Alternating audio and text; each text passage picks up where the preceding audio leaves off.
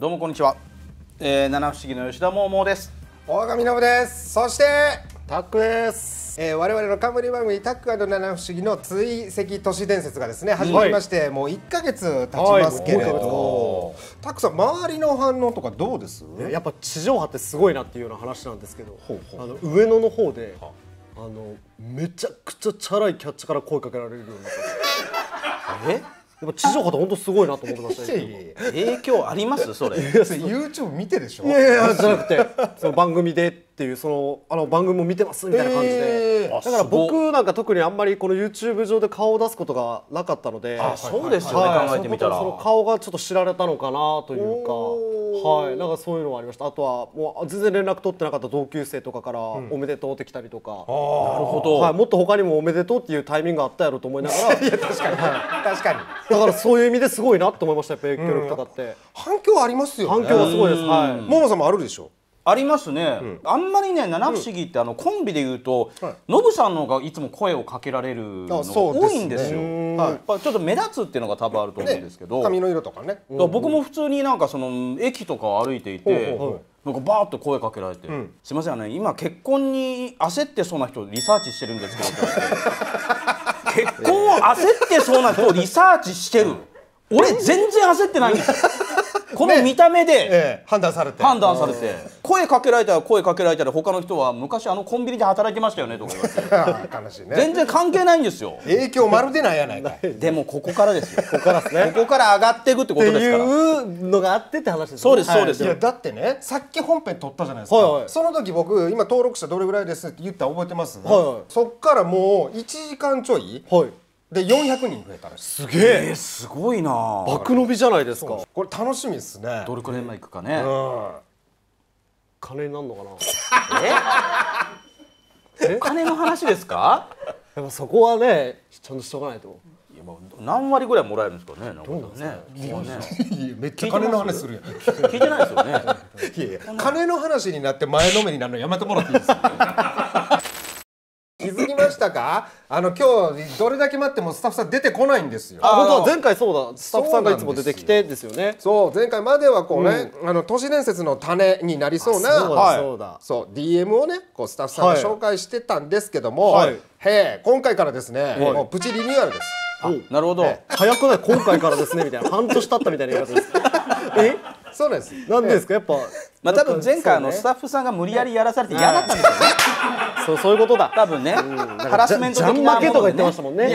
ジャン負けできましたみたいな。そうだ。あんな嫌々に出てくるかねっていう感じですね。そうです やらされてたんですけども。変わるということで。今回からはですね、はい。このチャンネルでもしっかりとですね恐怖をお届けする形になります。なるほど。か。はい。確かに。あのー番組の方ではあんまりその恐怖とか怖い話軸ではないですもんね。そうなんですよ。そうか。ということで、しっかり階段をねおおなるほど。やっていこうかなとこれは思って僕たちは一応コンビでのいろいろ会談も発信させていただいてるんでね。なので今日は早速ちょっとトップバッターといたしまして、はい。えー僕からですねちょっと階段を。えー、怖い話するんですかさせていただこうかなと思っておりまして。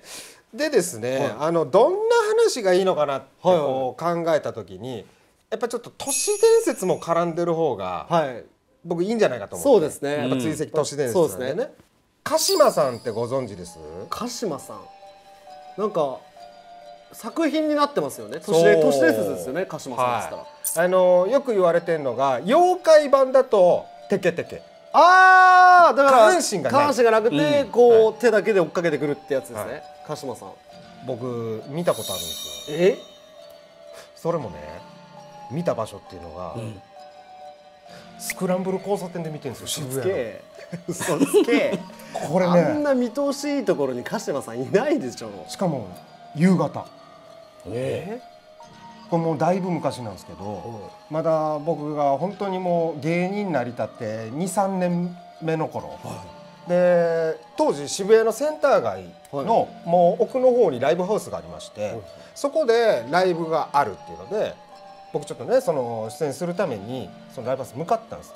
だから JR 渋谷駅からあーこうスクランブル交差点をセンター街の方に渡ろうとして、うん。そのスクランブル交差点で信号待ちしてたんですね、で夕方のスクランブル交差点めちゃくちゃ人いてるんです、でめちゃくちゃ人がいててスクランブル交差点青になったらこう縦横無尽にね、はいはいこう人が行き交うじゃないですか。でこう信号待ちしながらボーっとしたんですね、でそれとなくなんかこう反対側のね人たちのこう顔をこう見てたらなんかね視線合う気がしたんですよ、で視線合うなと思ったらなんか今度睨まれてるような感じがするんです、あれ？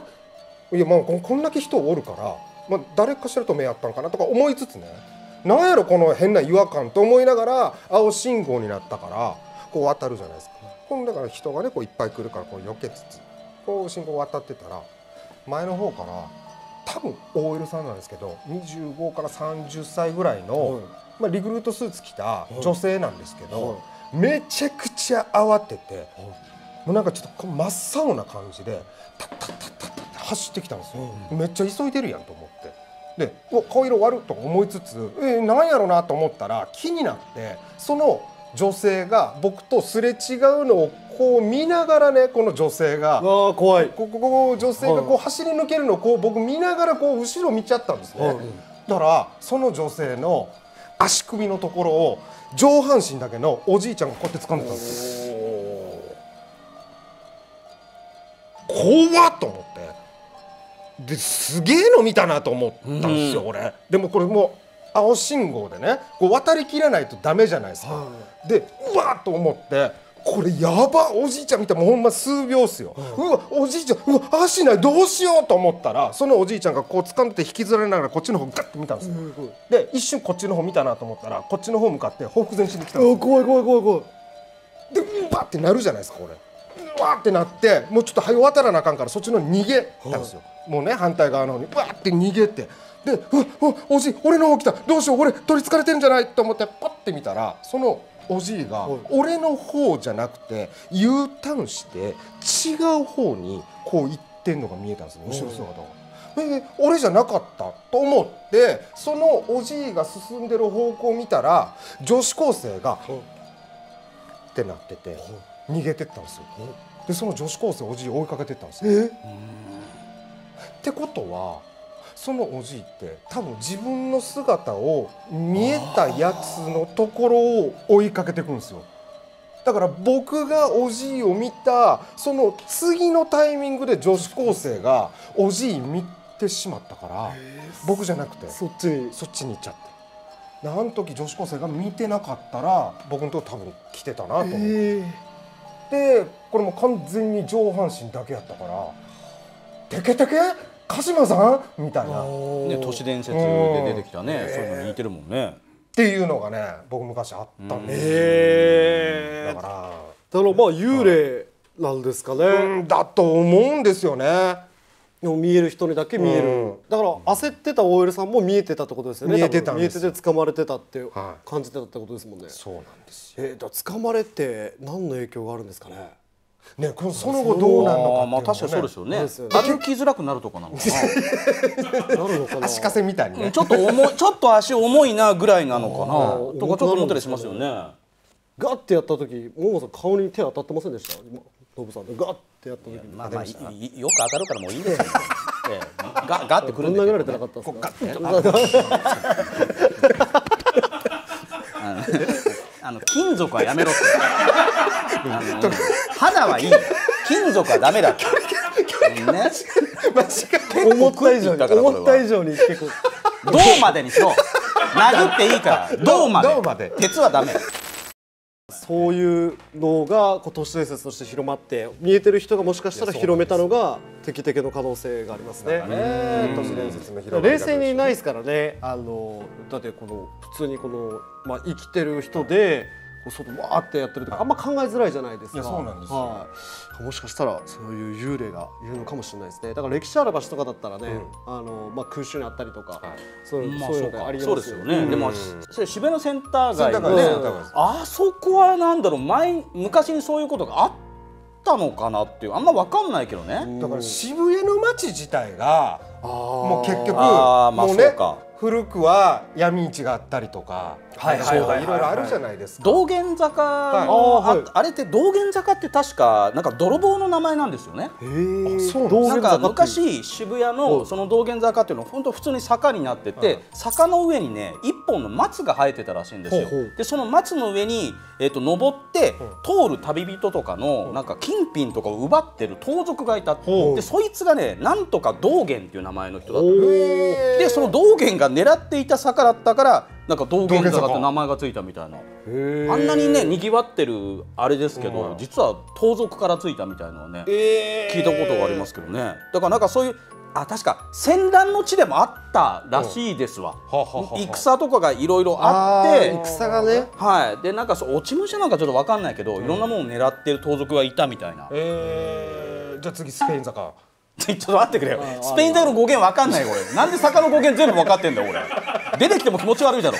こいつ食ってたなみたいになるだろそれは。逆さままさか。いやいやちょっと分かんないですよそれは。何ですか逆さままさかのことに。逆さままさかは。逆さままさかについては僕はないです。ないです。ないんですよ。あーす。げえ喋った。だからそういう都市伝説とかって、まあ、鹿島さんそのテケテケじゃないですか、い。あと有名なもので言うとね、あの番組でもね触れましたよね、口先女であったりとか、そうですよね。口先女も本当は実話じゃないのかみたいな噂もすごい広まったじゃないですか。はいはいはいはい、姉妹でストーカーされてたかなんかで、もうお姉ちゃんが引っ越したところを妹が使っててそのお姉ちゃんをストーカーしてた相手がそのお姉ちゃんを標的に寝床に入ってきて、まあ、顔にその薬物をかけたと。ただそれが実はあのお姉ちゃんの妹さんだったみたいな。